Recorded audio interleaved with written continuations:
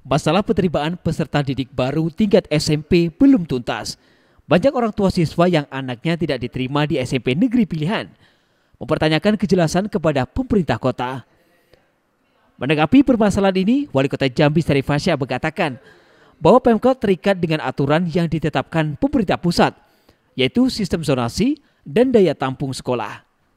Di mana setiap sekolah hanya boleh memiliki 11 kelas dengan jumlah siswa 28 hingga 30 orang per kelasnya.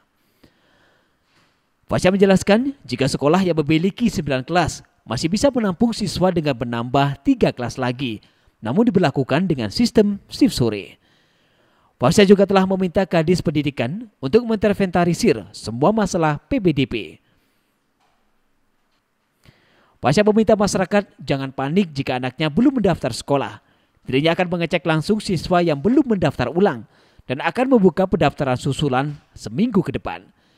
Untuk orang tua yang ingin anaknya tetap bersekolah di SMP negeri, Fasya merekomendasikan SMP negeri yang masih kekurangan siswa, yaitu SMP Negeri 3, SMP Negeri 13, dan SMP Negeri 23 Kota Jambi.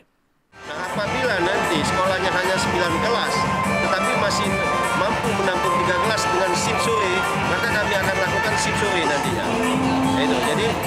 tidak masalah, tidak masalah nanti saya sudah perintahkan Kadis untuk menginventarisasi semua masalah Senin nanti. Jadi jangan panik kepada warga, kalau Senin nanti anaknya sekolah, anaknya belum sekolah jangan panik.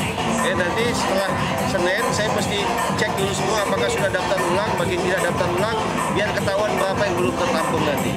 Kita bisa nyusul, dalam minggu depan masih dibuka peluang untuk menyusul lagi. Ya.